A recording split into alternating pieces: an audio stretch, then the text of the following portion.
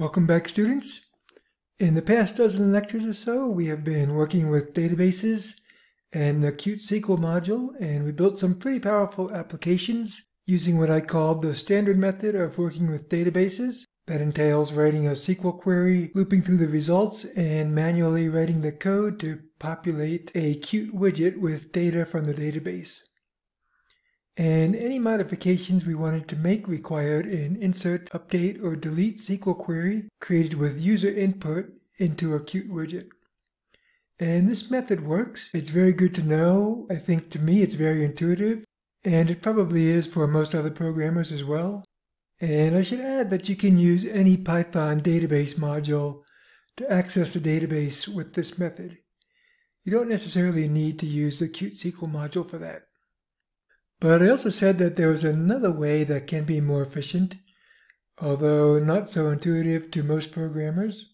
And this is known as the model view controller programming paradigm. And this does require the use of the Qt SQL module. I think it's a bit uncomfortable to many programmers because it seems kind of like a black box approach. And if they have problems, they don't know how to fix them because they don't understand what goes on inside the black box. But I think if you do take the time to understand it, it can be more efficient. I think it's more commonly used with professional programmers. Now, we've already discussed some basic concepts about the model view controller programming paradigm way back in lecture 54, so you might want to go back and review that lecture. The basic takeaway, however, was that the point of the model view controller architecture is to separate the functionality of the data source or model from the user interface or the view. And in the Qt world, the controller, which allows for interaction between the model and the view, is included with the view classes. So in the Qt world, you'll often see this referred to as model view architecture. We've already worked with several types of views in this course. I mentioned that QList widget is descended from QList view, and that likewise QTree widget is descended from QTree view and QTable widget is descended from QTable view. And while the QList view, QTree view, and QTable view classes are intended to work with a model, the widget forms of these classes allow users to add, modify, and remove items directly without the complexity of a model and that is what we've been working with so far in this course. But make no mistake about it, these widget classes use something called the QStandard item model behind the scenes. We're still working with models when we add an item to a QList widget or a QTable widget. We're adding those items to the QStandard item model. But the QStandard item model is hidden from us, and so we don't really have to know anything about it to use it. The QAbstractItemView class is the base class for all model-based widgets. These again are the ones that end with the word view. The QAbstractItemView class has a set model method that you use to specify the model to use with this view widget. And it has some signals as well, such as the activated clicked and double clicked signals and we're talking a bit more detail about the Q abstract item view class in a bit, but I think we all have an idea of what these views look like. They are provided to us as part of the Qt framework, although we can create our own as well by subclassing the Q abstract item view class.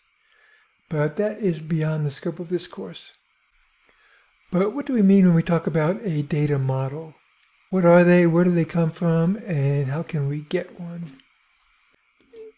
A model provides access to data in an organized fashion. In the Qt framework, a data model can be thought of as a grid.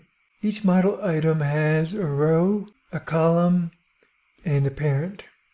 If you think about it, a QList widget has rows, a QTable widget has rows and columns, and a QTree widget has rows, columns, and parents. So you can start to see how this data model framework can be used to populate these types of widgets. And each data item in a model can be referred to by its index. If you know the row, column, and parent, you can find the index of any item of data in the model. The Qt framework has a QModel index class that's used for references to individual data items, and we'll talk about this also in a bit more detail later. In the Qt framework, the base class for our data models is the QAbstractItem model. If you think about it, we also had QAbstractItem view as the base class for view-based widgets. So we're keeping with the core idea of keeping the view and the model separate and independent. You can create your own data models by subclassing the QAbstractItem model and re-implementing some of its methods, signals, and slots to change how it works if you need to. That's beyond the scope of this course, but you should at least know that it's possible. Fortunately, the Qt framework includes some standard data models that descend from the Qt abstract item model.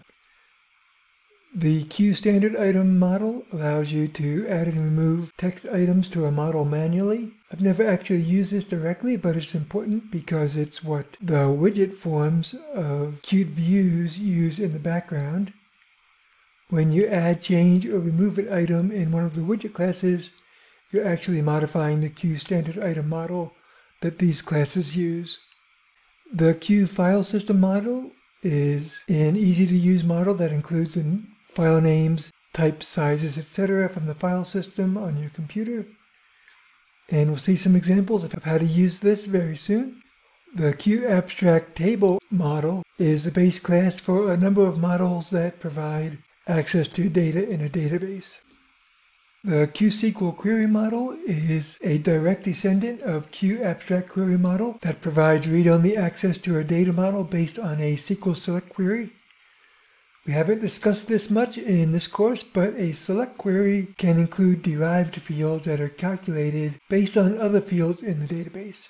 For instance, if the database includes a hectares field, but you want to display the data in square kilometers, you could use a derived or calculated field. It would be difficult to have a generic model that would allow editing in this case because the model would have to know also how to back transform the value that you edited back to hectares before updating the database. And so QSQL query models are read-only, but this would be a simple example of when you might want to create a custom model to implement that kind of functionality. QSQL table model descends from QSQL query model, and it provides an editable data model for an entire database table.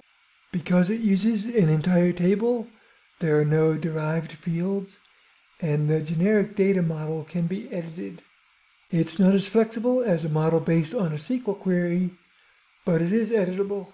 You can also, of course, hide some fields, and you can do some simple filtering as well if you don't want to display the entire table. QSQL Relational Table Model also provides an editable data model that is based on two joined tables. The QSQL Relational Table Model also provides an editable data model that is based on two joined tables. You have to specify in the model which fields the join is based on, and which type of join you want. You won't be working with QSQL relational table models in this class, but you should know that they exist. So hopefully by now you're starting to see the big picture of what a model is and how they can be used by a view to display data. But now we're going to get a little bit deeper into the weeds. One of the great things about a model is that many of them can populate themselves automatically. For instance, a QFileSystem model knows how to populate itself with data from your computer's file system. You just need to specify which directory to start with. All of the descendants of Q abstract table model also can populate themselves from a SQL select statement or from a database table. Other data models like Q standard item model require you to populate them manually. And this is normally done using the methods of the QWidget forms of item view classes. Another great thing about models is that the view widgets know how to use them. So if they can populate themselves and the views know how to use them, then you can imagine that the base functionality can be implemented very easily. You just create an instance of a data model and use the view's set model method to tell the view to use the model that you created and then everything else happens automatically. The QAbstract item model has some very useful methods. The index method takes a row and a column and a parent. And remember those three things are used to specify a specific item of data. And the index method returns an instance of the QModel index class that we can use to reference a specific data item. And we also have a set data method. And this takes a QModel index that specifies the specific data item that you want to set. And then you specify the value of the data that you want to set and also the role. We've talked about data roles previously when we talked about Qtree widgets and some of the other widget-based classes. But basically, each individual item in the model can have multiple data roles. One might be the string value that's actually displayed. Another might be the actual value from the database that's behind it.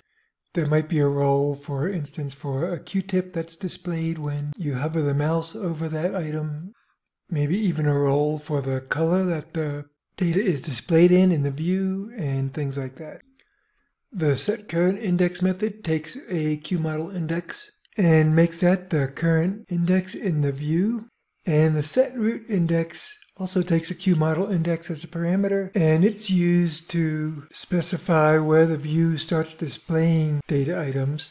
Because a model might be huge, it may contain a large amount of data, and you may want to display just a subset of that data in the view.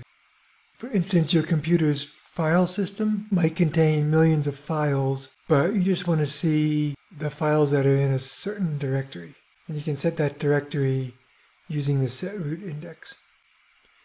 You can sort a model by specifying a column and a sort order. And the sort order is an enum value. We've used that before. All models will have a row count and a column count. And this is important because it allows you to loop through the model. Remember, with our index, we need row and column parameters. And if we have row count and column count, we can loop through the entire data model and access each individual item of data. Well, you might want to just loop through a specific row or through a specific column. In the case of hierarchical models, we also have the hasChildren method that returns true or false that we can use to check to see if there are any child items underneath a specific QModel index. And there are also methods to insert and remove rows and columns.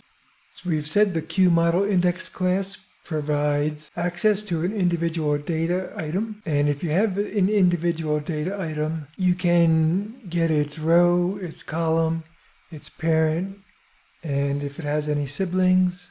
You can also get the data that's associated with that model item. And in this case, you have to also specify the role of the data that you want to get returned. Again, this is most often the data that's being displayed in the view, and that's the default value. But as we said, there are other roles that can be associated with a specific model item. And this lecture is getting a little bit long, so I'm going to stop here. In the next lecture, we'll look at the Q file system model and some of its helper classes. And we'll dive right into some programming examples and we'll see how easy it is to use these models with different views to examine your computer's file system. And we'll see you then.